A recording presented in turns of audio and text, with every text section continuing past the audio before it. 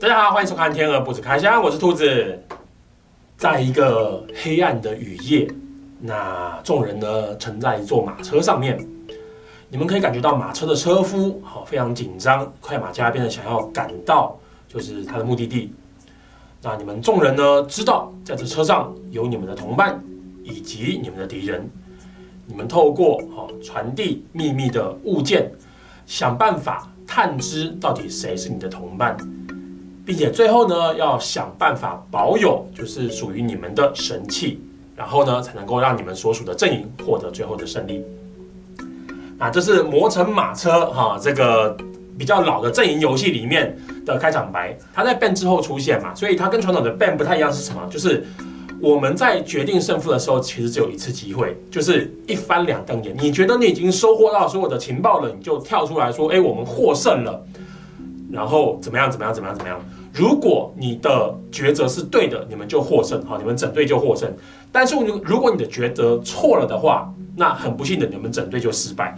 这个游戏呢，它影响了后续非常非常多，好，类似就是那种一翻两瞪眼式的，就是那个情报关系的游戏，可以算是这一类游戏的经典之一。好，我们首先来介绍一下哈，游戏进行准备，不同牌辈的牌一定是先分开来哈。首先这个是阵营牌，如果说我们是六个人玩的话，两个阵营哈各挑出人数的一半，六个人玩的话就是各挑三张，并且随机洗牌之后发给每个玩家一张，好，自己确认一下自己到底是啊什么样的阵营。那里面呢分为就是这个公式机密联盟以及真实谎言兄弟会。啊，我们可能通常会叫它蓝队、红队，好，但它有一个非常非常就是霸气的名字。他们两个胜利的目标就是你要获得属于这个阵营的神器啊，并且找到你所有的同伴。譬如说，哎，公式机密联盟就是你要获得三把钥匙，就你们的这一队里面要总共获得三把钥匙，好，然后再来你宣告胜利的时候呢，要指出你的同伴是哪一些。那这其中只有只要有任何一部分没有达成的话，你们就直接输掉这个游戏。那如果说全部达成的话，你们就获胜了。再来，真实谎言兄弟会呢，你是要找到三只高脚杯，就是你的同伴们持有总共三只高脚杯，加上你自己嘛，总共持有三只高脚杯，并且你指出所有的同伴，这样你们就获胜了。好，再来这边有一张角色卡。那基本上呢，它只是用来代表，就是你的人大概的一个外形、长相、外观，并且它可以在就是你进行攻击、防御或是支援的时候来表示一下你的态度。就是除了长得不一样之外，每一张卡片的那个就是用途都是一样的。这边哈有很多的职业卡，职业卡会给予玩家一个特殊的能力。那如果你想要使用这个特殊能力的话呢，你就要在正确的时间啊公开你的职业卡。有一些职业卡，它只能够使用一次，好，那公开之后，它它就没了，因为它的效能比较好。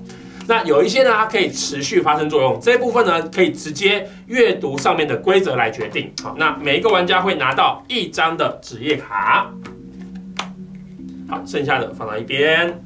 这边有个权力的美酒，哈，这个东西呢，我们先挑出来。但是呢，这个只会在单数玩家的时候被使用到。我们会等到就是呃，我基本的规则讲完之后，好，再跟大家解释权力的美酒怎么使用。偶数玩家的时候呢，我们这是不用的。哦，蓝色卡背这边哈，它是就是物品卡，有一些物品卡下面有一个蜡封的记号。好，在你第一次游戏的时候呢，我们把它挑出来，好。并且从中拿出两个神秘手提袋，先放在一边，然后呢，再从剩下好有蜡封的这些牌里面抽出玩家数量减二，也就是加上手提袋之后跟玩家数量一样哈。现在我们就是总共加上手提袋六张。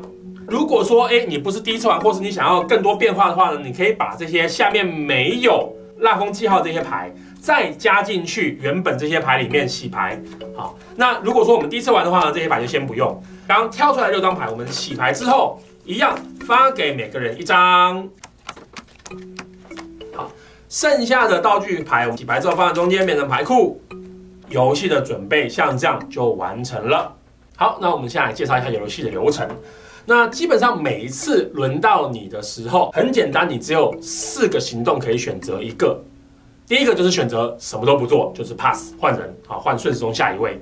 第二个呢，就是进行交易。基本上你会把你的嗯职业卡和你的阵营卡放在桌上，然后呢，把角色卡和你的物品卡拿到手上。进行交易方式也很简单哈，选择你手上的一张物品卡，并且面朝下的跟某人好进说，哎，我要进行交易。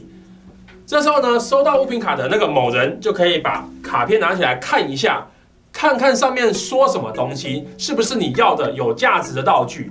然后决定，哎，好，那我们交易，并且呢，他从手上拿一张道具，好，就是跟你交换，或者是说呢，他说，哎，我不要这张东西，就直接退给你，好，那直接退给你的话，当然什么就不会发生嘛，对不对？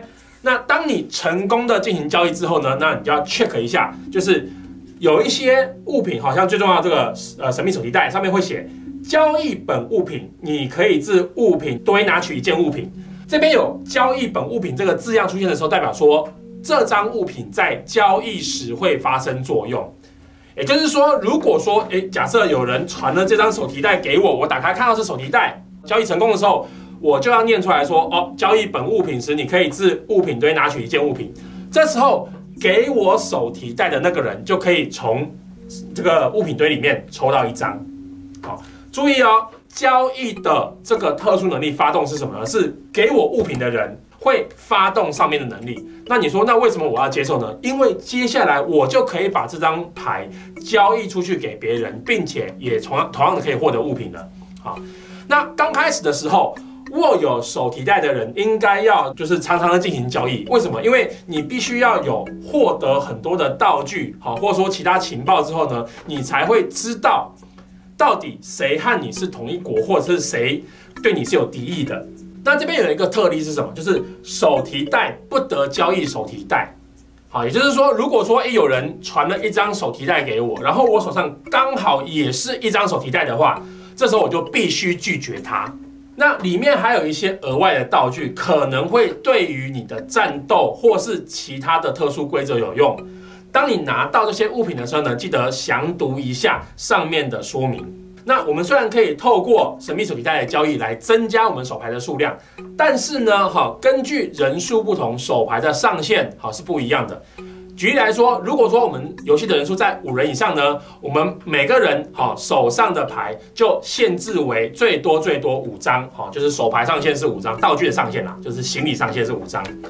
那如果说我们只有四个人玩的时候呢，那就是每个人的。那个行李上限就变成六张，如果是只有三个人玩的话，那上限就是八张了。接下来，好，轮到你回合的第二种行动，你可以选择就是进行战斗，好，比如说，哎，我现在好就是指一个对手，说我我要跟你进行战斗，这时候呢，请把你手上的角色卡哈，这个刀剑这一面哈，有一个剑这一面红色这个符号面朝上的放在你自己的面前，然后呢，你要进行战斗的。那个对方他要把他的角色卡，就是防守这一面，好放在他的面前。这时候呢，你叫做攻击方，对方叫做防守方。哎，我们可以开始就是怂恿一下其他人啊，要帮我帮我或干嘛的。那其他人呢，顺时钟开始哈，轮到他的时候，他可以用他手上的角色卡来决定他要支援攻击方还是支援防御方。如果他支援攻击方的话，一样把这个剑的符号朝上摆在他面前；如果是防御方的话呢，就是把这个盾的符号摆在他面前。那他也可以选择说他不表态，这时候呢，你就把手牌哈，就是把这个角色卡放在手上，就不要丢下来。经过一轮之后，好，基本上就是计算总战力，看是这个攻击的符号比较多，还是这个防御的符号比较多。那要注意，就是说，呃，这时候如果说玩家持有某一些特殊的能力，比如说这个决斗者，他作为攻击者或防御者的时候，可以指定斗争没有支援者，这时候你就可以翻开来说，哎，这个东西我要拿来使用，并且你可以在决斗的时候获得加一的那个斗争结算，不管我是攻击方还是防御方，我可以摒除一切的支援者，并且我的最后的战力会加一。那道具里面有像飞刀这种，哈，如果在斗争时支援攻击方的话，那攻击方可以获得加一的结算。也就是说，我支援防御方没有用，而且如果我本人就是攻击方的话，那也没有用。我必须是支援攻击方的人。当所有这些道具啊、干嘛都抵定了之后，就没有人再使用任何道具了。好，那此时呢，我们就会计算到底是这个攻击的符号多，或者是防御符号多。好，只要是攻击比防御多，或是防御比攻击多，那就叫做获胜。获胜那一方呢，就可以从以下两个行动里面选择一个。第一个就是我可以检视对方的手上的所有的行李啊，他的道具，然后呢，选择一张留在我的手上，其他的还给他。这边要注意是什么呢？第一个。如果说哈，你拿到的牌超过你的手牌上限的话，多余的部分我必须立刻把它给一个还没有到上限的人。第二个啊，就是如果说呢，我拿了对方的牌，导致对方手上没有任何行李的话，那我必须从手上选择一张道具卡，并且呢还给他啊。所以每个人。最低的底线，手上一定要保有一张行李，就是一张手牌，啊，这是一种方式。攻击方或呃或是防守方获胜的话，哈，那第二个状况就是你可以什么呢？你可以去直接看对方的阵营以及他的职业卡，来确认一下啊，你是不是我的友军，然后以及你有哪些特殊能力，好，可以确认一下。再来有个有一个状况是什么？就是平手。如果说攻击和防御的符号一样多的时候呢，那怎么办？好，这时候发动攻击的攻击者就可以直接从牌库这边拿到一张行李加到手上。啊，同样的，如果超过上限的话，必须把把手上的牌选一张给别人。所以说，在你手上没有什么好道具的时候，发动攻击，同样的是让你获得情报以及增加道具的一个好方式。那刚开始就是在这些情况还不明朗的时候，我们也会尽量好让发动攻击的人，哎，可能说想办法凑一下，让他能够拿到就是额外的道具，这样子才可以看他的处理。好，那我们来决定接下来的一些方针。第四个行动是什么呢？就是宣告获胜。轮到你的时候，你就说，那我要宣告胜利。好，那我是谁？譬如说，哎，我是那个公式机密联盟。好，我们公司机密联盟已经拥有了至少三把钥匙，所以我们获胜了。这时候呢，把你的就是那个阵营卡摊开来，拿出你手上就是获胜用的道具，譬如说，哎，联盟的话就是拿一把钥匙嘛，对不对？把这些钥匙也摊出来，在刚刚这些哎很多的交手的时候，你应该要找到并且确定谁是你的友军，指出来，哎，这位和这位是我的同伴。然后呢，被你指到的同伴也要把他们的。就是阵营卡打开来，并且如果他们有你们获胜所需要这个钥匙的话，也要同时拿出来。只要你指出来的那个队友都是对的，哎，没错没错，果然都是你的队友，并且你们三个人拥有总共好三把以上获胜所需的道具的话，那么恭喜你，你们就直接获胜。但是如果只要以上的任何一个条件没有达成的话，那抱歉，就是对手获胜了。这边有一些特殊的情况可以讲一下，就是第一个是道具的部分哈，像两个神秘手提袋下面都会讲说，当物品被拿光时，磁卡变成一把钥匙或是一只高脚杯，好，它有两个手提袋嘛，所以一个会变成钥匙，一个会变高脚杯，所以你们在获胜的时候，它上面写的剩条件是你至少要三只以上的钥匙或高脚杯，这时候呢，只要是物品。堆拿光的时候，手提袋也可以算在里面其中一个。那再来，我们讲一下一些特殊的状况是什么？就是单数玩家的时候，好像譬如说我们五位玩家的时候呢，哎，原本应该每一个阵营挑出二点五张，但是阵营哪有零点五张？所以这时候我们要注意这是什么呢？我们所有的小数点要进位。好，五个人进行游戏的时候，一样从双方阵营各挑出三张，并且随机的把牌把阵营卡发下去。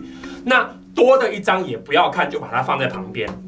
这时候我们就会发现有一方势力比较弱势，哈，它就是那个人数比较少嘛。我们会事先把权力的美酒发给每个玩家有一支，进行胜利宣告的时候，如果你们是。弱势那一方玩家就是人数比较少的玩家的话，这个权力的美酒可以视为你们获胜使用的高脚杯或者是钥匙，看你的阵营而定。所以前提是什么？我要使用权力的美酒的话，我们人数必定要比对方少。如果说我宣告之后，我们的人数是比对方多的，那很抱歉，这个权力的美酒就不能够当做高脚杯来使用。并且，因为你会没有找到全部的同伴。然后导致游戏失败，就变成对方获胜。基本上这个游戏的规则其实已经全部讲完了。那我们现在讲一下，就是因为我们当初刚开始在玩的时候，会发现其实我们什么好像都不能做，或是做什么都不对的样子。主要游戏里面有一些提示，它第一个要你说什么，就是你不需要去记住所有的资讯，但是你需要去判断一下，诶。这些道具可能在谁的手上？他们对待这些道具的那个处理的方式是什么？再就是说，我拿到了一些道具，然后我跟其他人好在进行对抗之后，譬如说他看过我的身份之后，他对我的反应是怎么样？好，你需要透过这些观察以及物品的交换，来想办法找出你的同盟。那可能刚开始一两次的时候，哎，你在宣告完之后，你发现你并没有获胜，或者是说，哎，你明明要宣告，结果对方抢先你一步，好，这时候就会令人有点沮丧。但是呢，对于这个沮丧而言，如果说你的宣告正确，并且说，哎，你获得了一个就是很重要的胜利的话，那这时候获得的成就感也是无与伦比的。所以我非常建议，就是玩家哈，你刚开始听完规则之后呢，你就没有关系，你先下去试试看。好，试着厘清一下状况。你会玩个两三次，在你摸不着就是头脑的时候，玩个两三次之后，慢慢的理出一条属于你自己的策略。好，那么天鹅不止开箱，我们下次见。